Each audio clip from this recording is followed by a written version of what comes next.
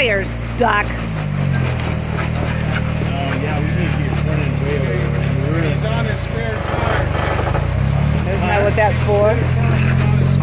Oh, you're on your spare tire, too. Oh, okay, now it's. You may want to.